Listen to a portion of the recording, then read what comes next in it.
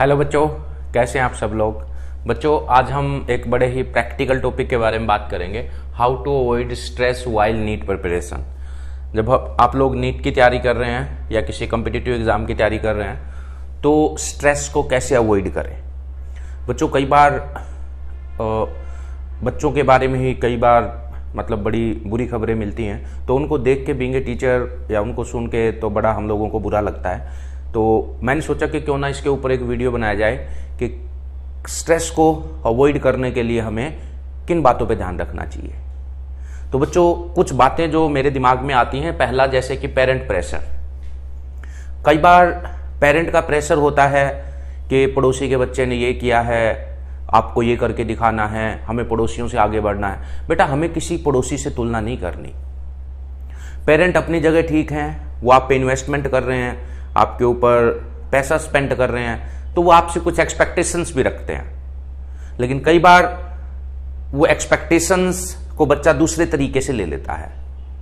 यानी पेरेंट का जो प्रेशर है, हमें पेरेंट की बातें सुननी चाहिए तो मैं तो इसका एक आसान सा तरीका बताऊँगा कि पेरेंट की बातें सुनो, इस कान से सुनो, इस कान से निकाल दो। और जितना आप में पोटेंशियल है, उस पोटेंशियल के अनुसार अपनी पढ़ाई करो।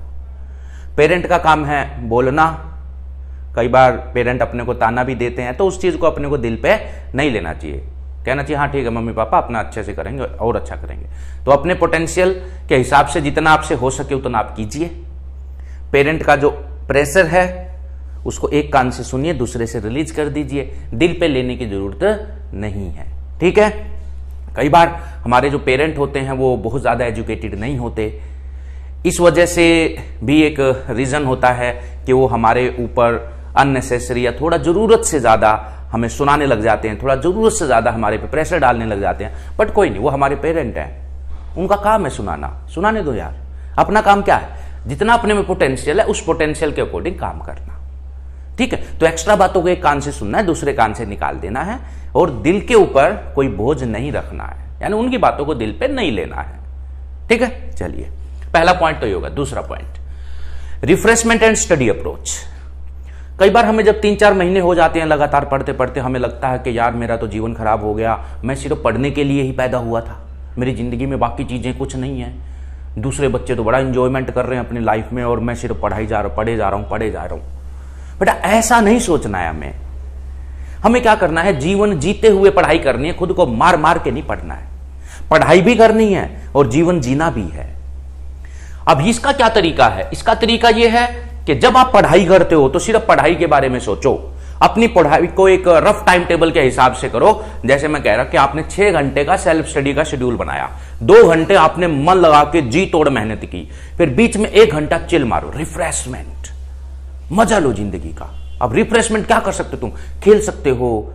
अपने दोस्तों से बातें कर सकते हो। आपके पास स्मार्टफ़ोन है तो स्मार्टफ़ोन में रील्स वगैरह चेक करके उस पर आजकल हँसी मज़ाक की रील भी आती हैं तो हंसो राम से। कई बार स्मार्टफ़ोन से डिस्ट्रैक्शन भी हो जाता है, लेकिन पढ़ते हुए अपने स्मार्टफ़ोन के इंटरनेट को ऑफ़ करके रखो, ताकि वो आपको डिस्टर्ब ना करे।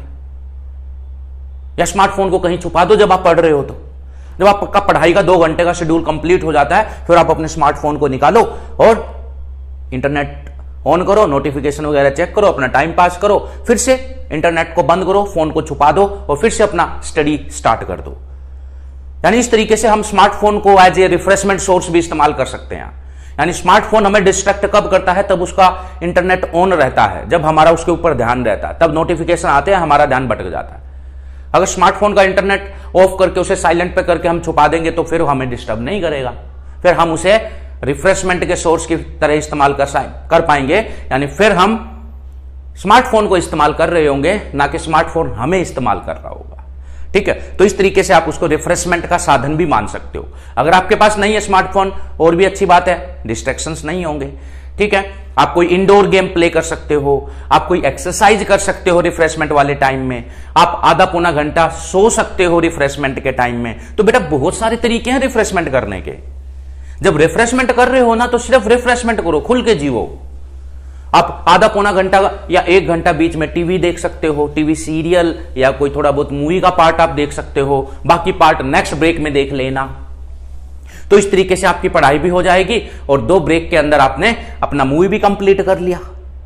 तो कहने का मतलब यह है कि आप जीवन को जीते हुए पढ़ाई करो, खुद को मार मार के नहीं पढ़ना है हमें। रिफ्रेशमेंट टाइम में भी हमें सिर्फ़ पढ़ते नहीं रहना है। रिफ्रेशमेंट टाइम में हमें खुल के जीना है। दुनिया में क्या चल रहा है, उसके बारे में अवेयर रहना है। न्यूज़ चैनल आप देख सकते हो रिफ्रेशमेंट टाइम में। तो बेटा, बहुत सारी चीज़ें हैं रिफ्रेशमेंट टाइम में करने के लिए। तो कहने का मतलब क्या हुआ? दो घंटे की पढ़ाई करी, एक घंटे का रिफ्रेशमेंट फिर दो घंटे की पढ़ाई कर ली, फिर एक घंटे का रिफ्रेशमेंट फिर दो घंटे की पढ़ाई कर ली, आधे घंटे का रिफ्रेशमेंट फिर सो गए। यानी इस तरीके से हम छह सात घंटे की अपनी नींद भी पूरी कर सकते हैं। छह घंटे का अपना सेल्फ स्टडी का शेड्यूल भी रख सकते हैं, उसमें रिफ्रेशमेंट भी बीच बीच में होते रहेंगे। अगर छह घंटे, अगर छह घंटे की सेल्फ स्टडी में आप मन लगा के फुल कंसंट्रेशन से पढ़ोगे तो उसमें आठ घंटे का काम कर सकते हो। बोलो कैसे? जब तुम दो दो घंटे के आपने तीन शेड्यूल बनाए, तीन शिफ्ट बनाए आपने दो दो घंटे की तो उसमें आप क्या काम करो ना टारगेट बनाओ। यानी ये दो घंटे में मुझे इस शिफ्ट में यहाँ से लेकर यहाँ तक का काम करना है, और फिर जुट जाओ उस टारगेट को हासिल करने के लिए। आपको पता चलेगा दो घंटे कैसे हो जाएँगे, आपका टारगेट भी पूरा हो जाएगा, पता ही नहीं चलेगा। फिर जैसे ही आपका टारगेट कंप्लीट हो गया, दो घंटे अच्छे से स्टडी आपने किया ब्रेन थोड़ा सैचुरेट हो जाएगा, फिर आपने रिफ्रेशमेंट किया चिल मारा, फिर से आपने अब छोटा सा टारगेट बनाया कि इस दो घंटे मुझे यहाँ तक का काम करना, फिर दो घंटे पढ़ाई करी, उसके बाद फिर रिफ्रेशमेंट फिर चिल किया। तो इस तरीके से पढ़ो। इसमें क्या होगा कि अपने को जीवन जीने में मज़ा आएगा और जीवन जीते हुए हमारी पढ़ाई चलती रहेगी। ठीक है? तो ये इस तरीके से हम दोनों चीज़ों को हैंडल कर सकते हैं। एक आता है less marks in mock test जो हमारी स्ट्रेस का एक इंपॉर्टेंट रीजन होता है कि मॉक टेस्ट में कम नंबर आए। अबे एक मॉक टेस्ट में कम नंबर आ गई तो क्या हुआ? इतने सारे मॉक टेस्ट हमारे होने होते, एक में कम नंबर आ गए तो क्या हुआ? आप घर जाके अपनी कमियाँ ढूंढो कि उसमें नंबर कम क्यों आए। मेनली दो कारण होते हैं, या तो आपने रिवीजन नहीं किया होगा उस टॉपिक का अच्छे से, उस वजह से आपके नंबर कम आए हैं। तो नेक्स्ट टाइम ध्यान रखो कि जो भी टेस्ट आता है, उसका आपने अच्छे से रिवीजन करके जाना है बेटा। और दूसरा रीजन हो सकता है कि आपका टॉपिक कमज़ोर है। वो टॉपिक आपके समझ में नहीं आया हुआ है। इसलिए जब जब भी वो टॉपिक टेस्ट में आएगा, तब तब आपके नंबर कम आएँगे।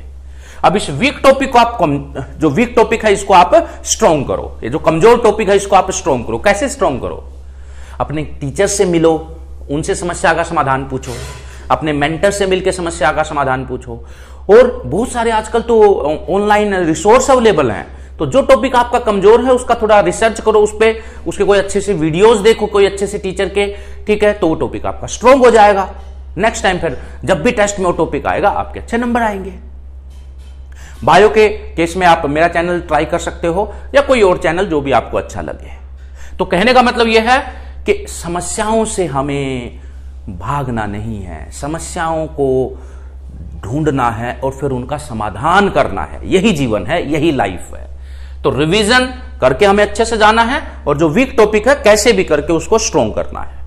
तो अगर ये अपना हो जाएगा तो मोक टेस्ट में नंबर कम आएँगे ही नहीं। Avoid over thinking while study कई बार जैसे मैंने आपको बताया कि दो घंटे पढ़ाई, फिर रिफ्रेशमेंट दो घंटे पढ़ाई, फिर रिफ्रेशमेंट बच्चा क्या कर रहा है? दो घंटे पढ़ाई कर रहा है। और बीच बीच में ख्यालों की दुनिया में है कि मेरा मेडिकल कॉलेज में नहीं हुआ तो क्या होगा, हो गया तो क्या होगा। अबे सपने मत बुनो अभी। दो घंटे तुमने डिसाइड किया था कि मन लगा के फुल स्पीड फुल कंसंट्रेशन से पढ़ेंगे तो फुल कंसंट्रेशन से पढ़ो, बीच में कोई भी दिमाग में थॉट नहीं आना चाहिए। और इस ओवर थिंकिंग से बचने का वही एक तरीका है कि जो भी आपने स्टडी स्लोट बनाया है, उसका टारगेट डिसाइड कर लो और उस टारगेट को अचीव करने के लिए फुल स्पीड के साथ पढ़ो। जैसे तुम पेपर कंप्लीट करने का टारगेट लेके चलते हो और तीन घंटे कैसे पूरे हो जाते हैं, पता ही नहीं चलता। इसी प्रकार से डेली जैसे हम पेपर अटेम्प्ट करते हुए हमारी कंसंट्रेशन होती है, वही कंसंट्रेशन आपकी डेली आपके स्टडी शेड्यूल में पढ़ते हुए होनी चाहिए। ठीक है? चलिए। तो ओवर थिंकिंग को हमने अवॉइड करना है, जो भी सोचना है रिफ्रेशमेंट वाले टाइम में सोचो। ओवर थिंकिंग बिल्कुल नहीं करनी।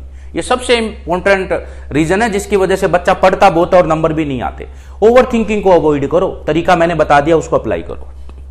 शेयर प्रॉब्लम विद टीचर्स कोई भी प्रॉब्लम आती है तो आप अपने टीचर्स से, अपने मेंटर से, अपने घर वालों से उस प्रॉब्लम को शेयर करो। अपने तक मत रखो प्रॉब्लम को। शेयर करो, बांटो।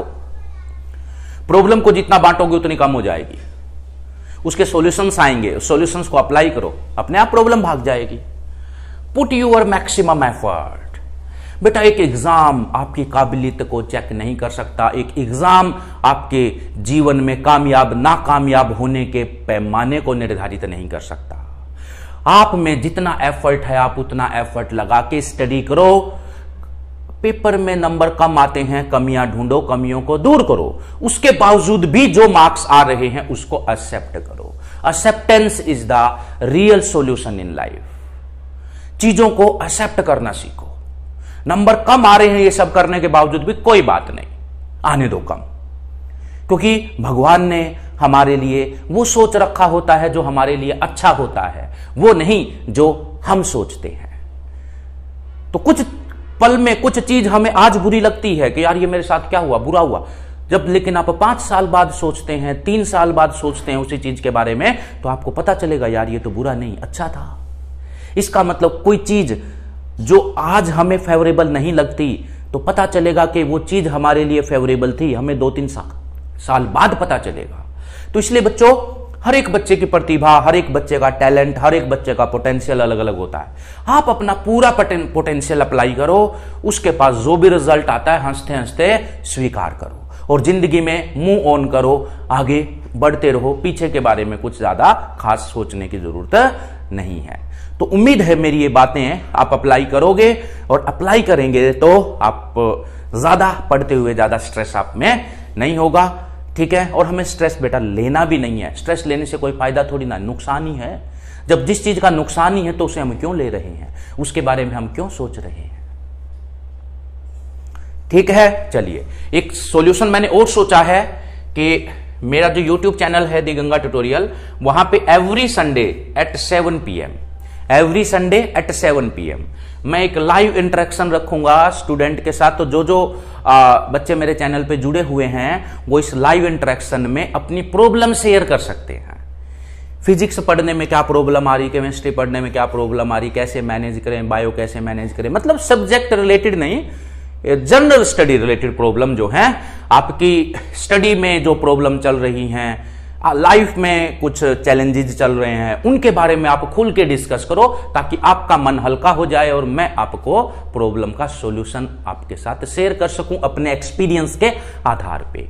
तो नीचे टेलीग्राम का एक लिंक दिया होगा, उससे आप टेलीग्राम से मेरे साथ जुड़ जाओ ताकि अगर इस शेड्यूल में कोई भी बदलाव होता है तो वह, वो मैं वहाँ पे आपको इन्फॉर्म कर सकूँ। ठीक है? तो कहने का मतलब यह है कि एवरी संडे सेवन पीएम हम एक वन टू वन इंटरेक्शन रखेंगे, जिससे आप लोगों की जो प्रॉब्लम है, उनको मैं सोल्व करने की कोशिश करूँगा। ठीक है? तो बच्चों, ये मैंने एज ए टीचर सोचा कुछ चीज़ें कि आप लोगों के साथ शेयर करता हूँ। उम्मीद है ये वीडियो आपको अच्छा लगा होगा। अगर वीडियो आपको अच्छा लगा है तो वीडियो को लाइक ज़रूर करें चैनल को सब्सक्राइब करें। तो बच्चों नेक्स्ट वीडियो में मिलते हैं किसी नेक्स्ट अच्छे से टॉपिक के